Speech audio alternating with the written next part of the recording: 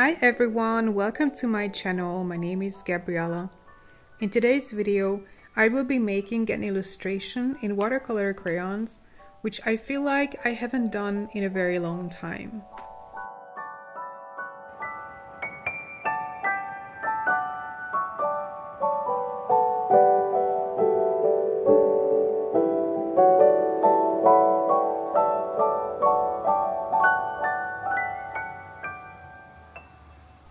Last week, I spent two days in Austria with the company that I work for.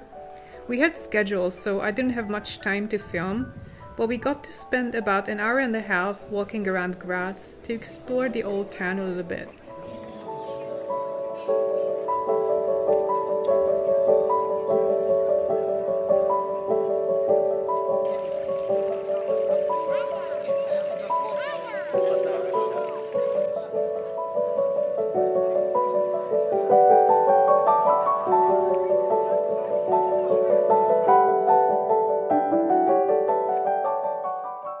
I took my Mungyo watercolor crayons out to make this sketch, and I also decided to challenge myself with the color palette a little bit. Normally, I go for colors that look very earthy and natural. I usually just try to imitate whatever is before me, but lately, I've been exposed to a lot of works on Instagram where the artists tend to experiment with more expressive palettes. I knew I was gonna use warm browns, as I always do, but instead of going for leaf greens and olive greens, which are my comfort zone, I chose colors that I almost never use, turquoise and cobalt blue. Since the Mungyo watercolor crayon range has no turquoise color for some reason, I picked one out from my Neocolor 2s.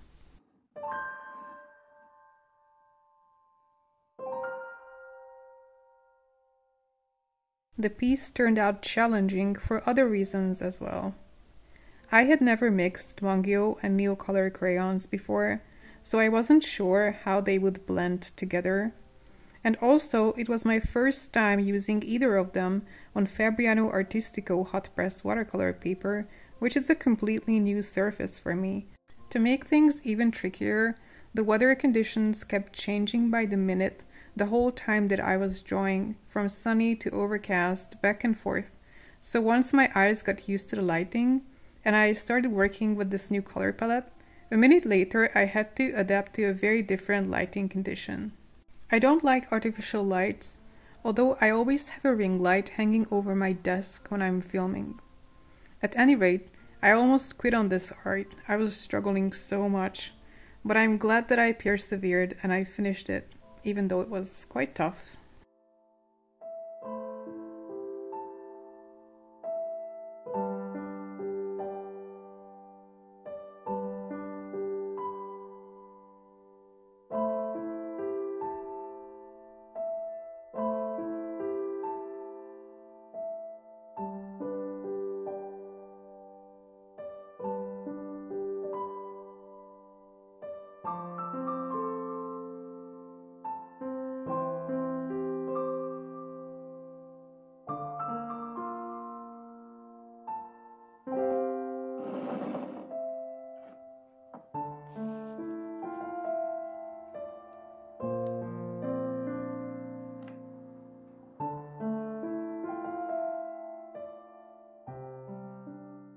When it comes to the actual quality of these crayons, both have pros and cons, and it's entirely dependent on personal preference.